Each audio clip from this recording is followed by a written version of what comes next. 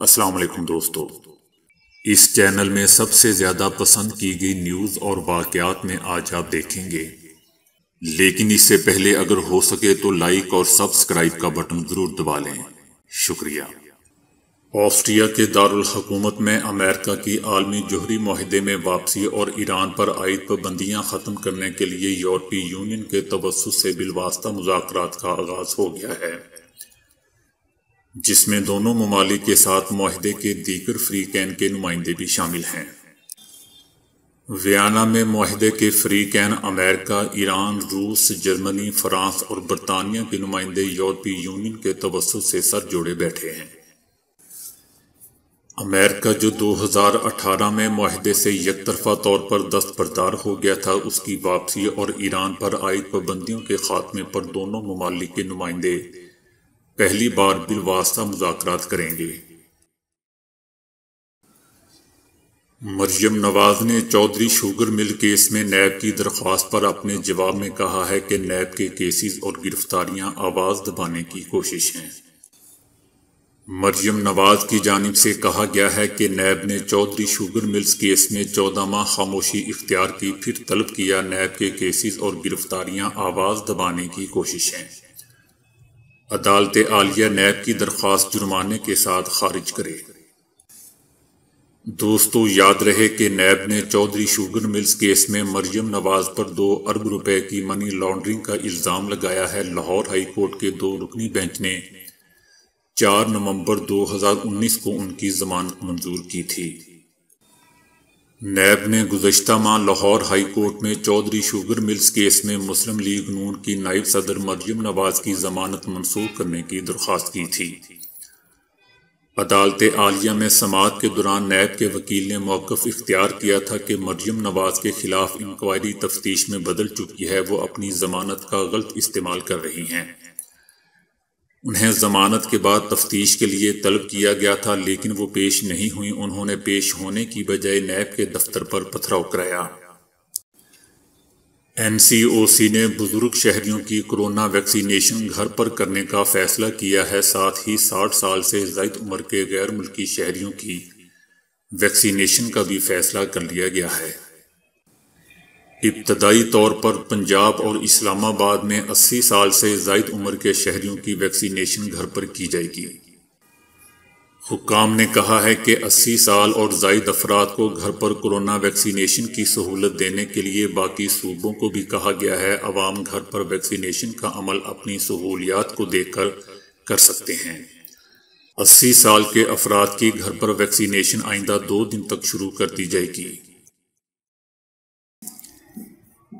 Microsoft के शरीक बानी बिल गेट्स ने एक तकरीर के दौरान खबरदार किया था कि इंसानियत को सबसे बड़ा खतरा जोहरी लड़ाई से नहीं, बल्कि किसी वबाई जरासीम से लाक है।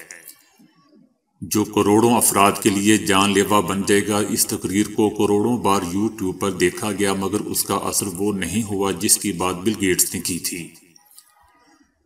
उसकी बजाय अमेरिका और यूरोप में दाएँ बाजू के कदामत पसंद अफराद वैक्सीन के मुखालफी साजिशी ख्याल फैलाने वाले ग्रुप्स ने दुनिया के अमीर तरीन शख्स को अपना हदफ बना लिया। माइक्रोसॉफ्ट के बानी का इस हवाले से कहना था कि वो अजीबो गरीब और शैतानी साजिशी ख्याल पर दंग रह गए थे, क्योंकि वो ये जानना पसंद करेंगे कि इसके पीछे कौन था।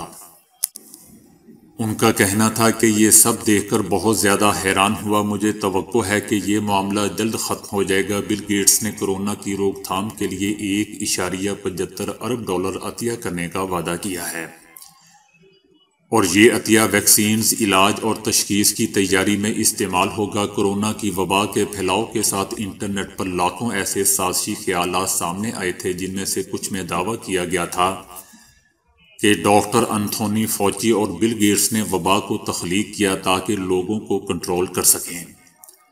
इसको इस्तेमाल करके लोगों में माइक्रोचिप नस्ब करना चाहते हैं, लेकिन बिल गेट्स का कहना यह पूछना है कि क्या लोग वाकई इस बात पर यकीन रखते हैं? जर्मनी के एक शहर में बेघर अफराद के लिए पार्क और दीगर अवामी मकाम पर स्लीपिंग पोर्ड्स नस्ब कर दिए गए हैं। ये बेमिसाल काम जर्मन शहर ओलम की इंतज़ामिया ने किया है। इन पोर्ट्स को ऑलमर नेस्ट का नाम दिया गया है। ये घोंसले सर्दी के मौसम में बेघर अफराद के आराम करने के लिए नस्ब किए गए हैं। ये लकड़ी और स्टील से बनाए गए हैं। मकामी हुकूमत के एक तर्जमान का कहना था कि ये पोर्ट्स इतने बड़े हैं कि इनमें बैक वक्त दो लोग आराम से रह सकते हैं। इनको इस्तेमाल करने के लिए लोगों को किसी इजाज़तनामे की ज़रूरत नहीं होगी। इन पोर्ट्स को सेंसर्स के ज़रिए एक नेटवर्क से मुंसलिक किया गया है। इन्हीं सेंसर्स के ज़रिए पोर्ट्स के साथ दरपेश आने वाले किसी भी मसले से इंतज़ामिया को आगाही रहेगी। और उन्हें बर वक्त ठीक किया जा सकेगा। इसके अलावा ये भी मालूम रहेगा कि कब कौन सा पोर्ट इस्तेमाल हो रहा है। दोस्तों, गालियाँ देना इंतहाई मायूब बात है, लेकिन अब साइंसदानों ने इसके मुतलिक ऐसा इंकशाफ कर दिया है कि सुनकर यकीन करना मुश्किल हो जाए। Massachusetts college of liberal के तहकीकारों ने बताया है कि गालियाँ देना किसी के जहन और तख्लीकी सलाहियतों का मालिक होने की निशानी होता है। और गालियाँ देने वाला शख्स कैसी सुपर पावर्स का मालिक होता है जो उसे ज़्यादा से ज़्यादा तकलीफ़ झील जाने में मदद देती है। तहकीकाती रिज़ल्ट में यह भी बताया गया है कि गालियाँ देना ईमानदारी की भी अलामत होता है क्योंकि इससे सच्चे जज्बात का इजहार होता है। बदजुबानी दाएँ दिमाग के उस हिस्से को मुतहरिक करती है, जिसे तख्लीकी दिमाग कहा जाता है। तहकीकती टीम के सरबरा और नफ्सियात के प्रोफेसर टमोथी जे का कहना था कि गालियाँ देने के फ़वाद बेशुमार हैं जो गुजशत दो दिहाइयों में साइंसी तहकीकात के नतीजे में सामने आए हैं। इससे कबल कोई गालियों के फ़वाद से आगाह नहीं था। दोस्तों, अब इसका फ़ायदा देखते हुए कहीं मुझे ही देना ना शुरू कर दें, बल्कि उन साइंसदानों को देना जिन्होंने ये तहकीक की है। मैंने तो आप तक सिर्फ़ खबर पहुंचाई है। बरतानिया में डॉक्टरों की तरफ़ से फिट और सेहतमंद करार दी जाने वाली एक एयर होस्टिस कोरोना में मुब्तला होकर मौत के मुँह में चली गई। जिसने फेसबुक पर अपनी आखिरी पोस्ट में ऐसी बात कह दी जिसे सुनकर शायद आपकी आँख नम हो जाए। पाँच बच्चों की माँ कैदन नामी इस खातून को 27 दिसंबर को हॉस्पिटल लाया गया था। उसकी तशवीशनाक हालत के पेश नज़र डॉक्टरों ने उसे दवा के ज़रिए बेहोश करने का फैसला किया। और वो उसी बेहोशी में ही हार्ट अटैक आने से मौत के मुँह में चली गई। कैरन ने फेसबुक पर अपनी आखिरी पोस्ट में लिखा था कि मुझे दवा देकर बेहोश किया जाने लगा है। और वार्निंग भी दी गई है कि शायद मैं इसी बेहोशी से वापस ना आ सकूँ। मैं इतनी खौफजदा हूँ कि लफ्ज़ खौफ उसके लिए छोटा पड़ रहा है। मेरे बराबर वाली खातून की मेरी आँखों के सामने मौत हो चुकी है। बेचारी खातून की नर्सों ने जान बचाने की बहुत कोशिश की, मैं भी उसकी मदद ना कर सकी। आखिर में उस खातून का कहना था कि, प्लीज़ तमाम लोग मेरे लिए दुआ करें कि मैं दोबारा होश में आकर अपने बच्चों के पास वापस जा सकूँ। जर्मनी के एक शहर की बेकरी में एक ऐसा केक तैयार किया गया है जो हु बहू सरंज की तरह है। और उस पर बाय बाय कोरोना की इबारत दर्ज है। जर्मनी की बेकिंग पैराडाइज बेकरी अनोखी चीज़ें बनाने में दुनिया भर में शोहरत रखती है। कोरोना की इब्तदा में जब टॉयलेट पेपर्स की कमी का सामना हो गया था तो बेकरी ने टॉयलेट पेपर की शक्ल का केक तैयार करके आलमी शोहरत हासिल की थी। अब जबकि दुनिया भर में कोरोना वैक्सीनेशन का आगाज़ हो चुका है और इस आलमी वबा के खात्मे की उम्मीद पैदा हो चुकी है तो बेकरी ने इस मौका पर भी केक का एक नया डिज़ाइन तैयार किया है। ये केक सुरंज की शक्ल का है, जिससे मुराद कोरोना टीका है और सुरंज पर बाय बाय कोरोना दर्ज है। बेकरी के मदाहों ने इस केक को काफ़ी पसंद किया है।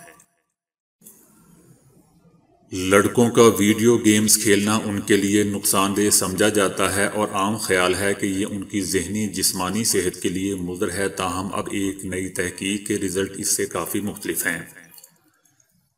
हाल ही में बरतानिया में होने वाली एक तहकीक से इल्म हुआ है कि 11 साल की उम्र में वीडियो गेम्स खेलने के आदि लड़कों में आने वाले बरसों में डिप्रेशन का खतरा कम होता है। लंदन कॉलेज यूनिवर्सिटी की इस तहकीक में ये भी कहा गया कि जो लड़कियाँ अपना ज़्यादा वक्त सोशल मीडिया पर गुजारती हैं उनमें डिप्रेशन की अलामत का इम्कान ज़्यादा होता है।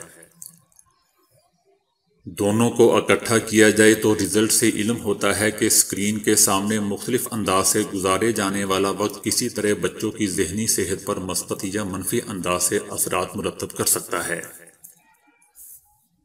तहकीक में शामिल माहरीन के मुताबिक स्क्रीनों से हमें मुख्तलिफ़ अकसाम की सरगर्मियों का हिस्सा बनने का मौका मिलता है। उन्होंने कहा कि अगरचे हम ये तस्दीक नहीं कर सकते कि गेम्स खेलने से जहनी सेहत बेहतर होती है या नहीं। ताहम रिज़ल्ट से ये इशारा मिलता है कि ये इतनी नुकसानदेह आदत नहीं, बल्कि इसके कुछ फ़ायदे भी हैं। इस तहकीक में ग्यारह हज़ार से जायद बच्चों के डाटा का जायजा लिया गया था। कुछ अर्सा पहले एक तहकीक की गई थी, जिनमें बच्चों से सोशल मीडिया, वीडियो गेम्स खेलने या इंटरनेट के इस्तेमाल के हवाले से सवाल पूछे गए थे। जबकि चौदह साल की उम्र में उनमें डिप्रेशन की अलामत को जानने की भी कोशिश की गई थी। नतज से मालूम हुआ था कि जो लड़के ज़्यादा वीडियो गेम्स खेलने के आदि होते हैं, उनमें अगले तीन बरसों में डिप्रेशन की अलामत का खतरा चौबीस फ़ीसद तक कम होता है। जबकि दूसरी जानब जो लड़कियाँ अपना ज़्यादा वक्त सोशल मीडिया पर गुजारती हैं, उनमें तीन साल बाद डिप्रेशन की अलामत का खतरा तेरह फ़ीसद तक बढ़ जाता है। सऊदी अरब में मज़दूरों को खाना काबा के तवाफ़ और सफ़ा और मरबा की सही में सहूलत फ्राहम करने के लिए नई इलेक्ट्रॉनिक व्हील चेयर्स की फ्राहमी का अफ्ताह कर दिया गया है। मुकदस मसाजिद के अमूर के सरबरा अली डॉक्टर अब्दुलरहमान ने कहा कि मस्जिदुल हरम आने वालों में माजूर और बुज़ुर्ग भी होते हैं। उनके लिए आसानियाँ फराहम करना हमारा अहम हदफ है। नई इलेक्ट्रॉनिक व्हील चेयर्स मज़बूत प्लास्टिक से तैयार की गई है। जो हल्की फुल्की होती है, उनको चलाना आसान है, जबकि इन्हें फोल्ड करके भी रखा जा सकता है। दूर की नज़रें कमज़ोर होना काफ़ी परेशानी का बायस होता है क्योंकि इंसान चश्मे के बगैर दूर की चीज़ों को देखने से कासिर होता है। और हर वक्त चश्मा और लेंस का इस्तेमाल कितना मुश्किल होता है। जापान की एक फार्मास्यूटिकल कंपनी कबूता ने दावा किया है कि ऐसे स्मार्ट ग्लासेस तैयार किए हैं जिसे दिन में सिर्फ़ एक घंटा लगा रखने से आपकी कमज़ोर नज़र पूरे दिन के लिए ठीक हो जाएगी। कंपनी का कहना है कि वो एनक की फरोख्त का आगाज़ 2021 में करेंगे। तो दोस्तों, आज के लिए इतना ही। वीडियो को लाइक और शेयर करने का बहुत बहुत शुक्रिया।